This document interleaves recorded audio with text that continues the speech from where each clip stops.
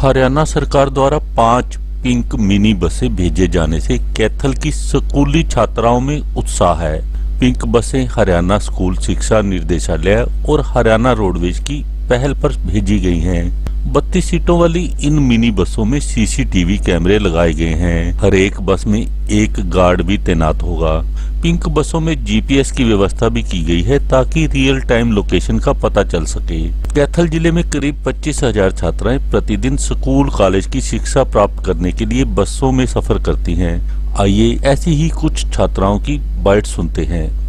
तो अब इनसे भी छुटकारा मिल जाएगा और जो पेरेंट्स होते हैं जो सिटी में पढ़ने के लिए नहीं भेजते तो वो भी भेजेंगे। बहुत हद तक पढ़ेंगी और आगे भी बढ़ेंगी। हाँ वो जागरूक होंगे और उन लड़कियों को पढ़ने के लिए आगे भेजेंगे। काजल।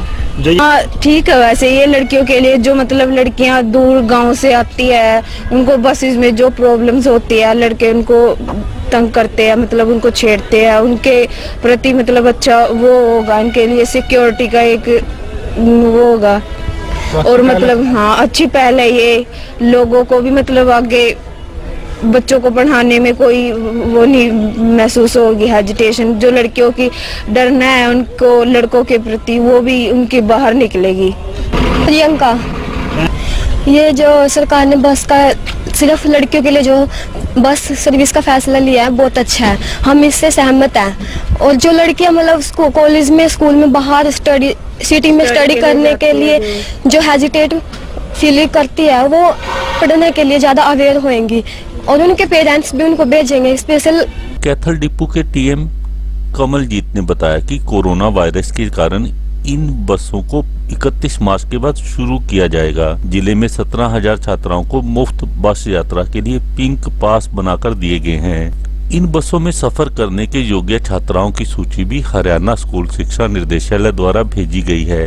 उन्होंने बताया कि पिंक बसों के शुरू होने से यात्री बसों की सेवा में भी सुधार होगा। मैं स्कूली छात्राओं के लिए विशेष तौर पे उनके द्वारा जो शिक्षा निर्देशालय ने जो बच्चे जिस स्कूल में जहाँ से आते हैं उनके लिए लिस्ट दी हुई है और उन मार्गों पर इन बसों का संचालन किया जाएगा लड़कियों को अच्छी सुविधा प्रदान करने के लिए। ये फ़िलहाल 16 से शुरू होनी थी परंतु कोरोना वायरस की एवज में जो दिक्कतें आ रही हैं उसके कारण स्कूल शायद बंद है। तो उसके बारे में मैसेज आया है हेड ऑफ़िस से कि इसको 31 मार्च के बाद ही संचालन किया जाए। फ़िलहाल तो यही सिर्फ़ शिक्षा निदेशालय और परिवहन विभाग जो है उनके आपसी सामंजस्य के लिए है। वक्त के साथ आगे जैसी भी चीज़ें आई। उनका तो पिंक कार्ड है तो उसमें उनका किराया लगता नहीं है। ऑलरेडी गवर्नमेंट की तरफ़ से वो माफ़ है उनका। मैं मैं बता रहा हूँ क्योंकि शिक्षा निदेशालय की तरफ़ से लिस्ट आई है। और उसमें वही लोगों को मेंशन किया गया है। स्टूडेंट्स की जन जो आबादी है जिस पे स्तर पे गाँव पे रूट पे उनके लिए है। तो ये मानो कि इसमें अभी महिलाएँ अलाउड नहीं है। ये पाँच आई है जी कैथोलिक डिपो में। उसमें अभी रूट फाइनल नहीं हुआ क्योंकि हेड ऑफ़िस से आएँगे रूट लेकिन ये है कि पाँच बसें जो है इक्कीस मार्गों पे से पाँच बसें अभी चलेंगी। दो पहले ऑलरेडी चल रही हैं।